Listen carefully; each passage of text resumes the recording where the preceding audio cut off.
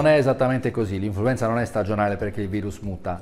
Eh, il virus eh, muta ed è un dato di fatto, eh, vengono identificati virus eh, in altre eh, regioni del mondo, si crea un vaccino e ogni anno noi dobbiamo fare un vaccino adeguato alla mutazione dell'anno stesso. Quindi questo spiega come mai il vaccino dell'influenza sia consigliato ogni anno e non ogni tre anni, per esempio. Comunque eh, è un ciclo legato anche alle stagioni e quindi l'inverno è la stagione dell'influenza.